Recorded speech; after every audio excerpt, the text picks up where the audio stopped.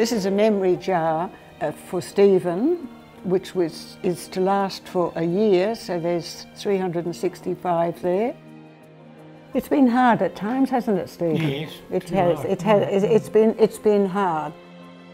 Alzheimer's sort of takes a lot from you, so but uh, the singing really gives gives back to you. I think. Yeah. Yeah.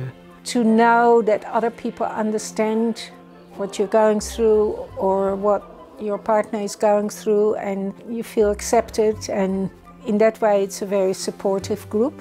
It's something we look we do look forward to. So very much. I'm Brian Triglone and I'm the founder and conductor of Alchemy Chorus.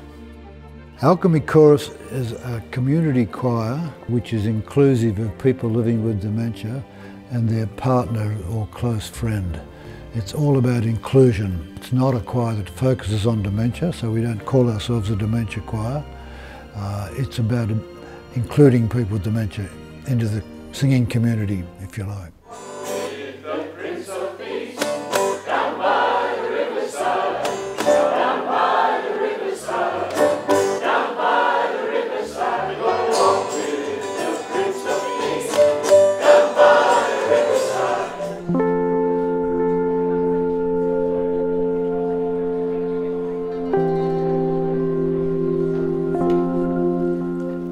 Choir together as the sound is just fabulous. I mean, we were there, we've been there for about four years, I think, and uh, the growth of, of singing like a real choir is fantastic. We just caught up with everyone, and we've missed it. We've all missed it. We've all missed that, that contact because you, you, you suddenly go different ways. You don't always see everyone. Among the trees with lots of plum trees. A sheep or two and a kangaroo with clothes on out the back. In the time that we haven't had choir, I've just felt as flat as anything. I haven't, I've done some gardening, but I just really felt like a lost soul. And today, I, I'm just so elated that so it gives me a purpose, but also it's a challenge to do little harmonies that make it sound more than just a singing group. The numbers weren't pretty weren't too bad today. I would have thought 55, 50, 55. Those that didn't come, understandably, were still a bit nervous uh, about coming in, in, into public. I'm, I'm pretty confident that it'll build up to what we were, which is normally somewhere around 80 every week.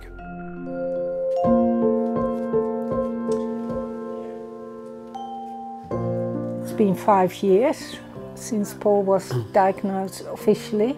The first couple of years, Paul was quite stable, but this last year has been harder for, for, for you, with a lot of uh, memory, short-term memory especially going. Well, I, I think we've had a, a pretty wonderful life so far, done a lot of things together. We know each other very well, although I'm probably um, um, a, a, burden on Marlene a bit because I forget things so much. it's frustrating to me, and, and, I try not to let, let that frustration out on her. the um, singing is one way to do something together and uh, really enjoy it. The benefits that the partners accrue from, from the choir are enormous. They just love it because when your partner has dementia, your whole life changes. You tend to reduce your social contacts, or they're reduced for you, unfortunately, and you're a little embarrassed about how the person's going to appear when you go into public. But when they come here, they know that they're amongst friends and people who have a, a common purpose, and uh, I shouldn't say a common burden, but it's a, it's a yeah, it's, it's they'll, they'll share what it's like to have someone with, with dementia with them. So it's, it's, it's far more than just a singing group for people with dementia. It's a community choir that embraces those with dementia. This is a memory jar uh, for Stephen, um, made by one of our daughters. So which was is to last for a year. So there's 365 there, and this is memory from all the family from all around Australia, who have sent either photos, sayings, remembering situations that Stephen was with, and we put that then into another jar because we can do that and use it again uh, at another time. So here are Stephen. How about taking a couple? Who was playing Father Christmas at the Yass Showgrounds. Dad used to do this most years. It's been hard at times, hasn't it, Steve? Yes, It has. hard. It has. it's- It's been. It's been hard uh, um, because it's 24 hours a day. 24 hours is a long time.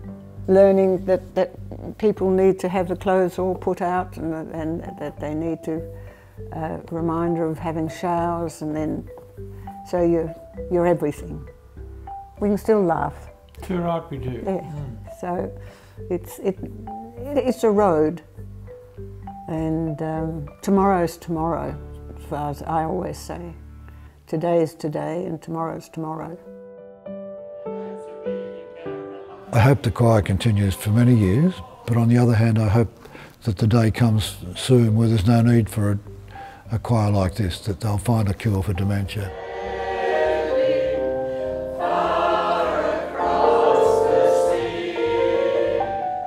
I don't think anybody of us knows the future, and sometimes that can be frightening. Also, when things change so quickly, we trust that we will be able to cope the best way we can.